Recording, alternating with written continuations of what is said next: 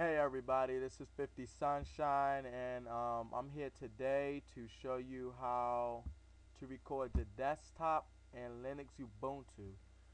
Okay, so the first thing you want to do is you want to go to the Ubuntu Software Center. I'm using um, Linux Ubuntu 11.10 and what you want to do is that you want to go and you want to search for desktop recorder. Then after you search for desktop recorder, you want to install it. As you can see right here, I have it installed.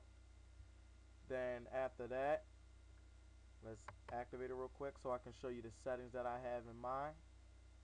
So you can search desktop recorder, and as you can see, it shows up right here.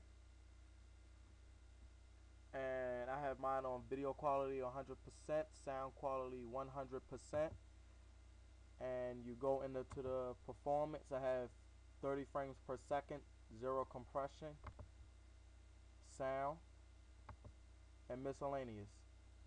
And one thing that you want to make sure that you do when you get this recorder is I've noticed that a lot of people have been having this issue is that when you go to displays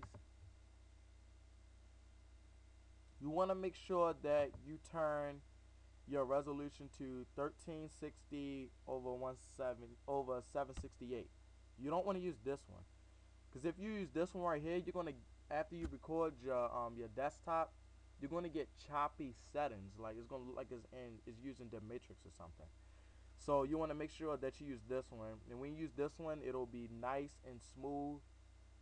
And um another thing that I use is for video compression let's go back to the uh, to the Ubuntu Software Center. We're going to search.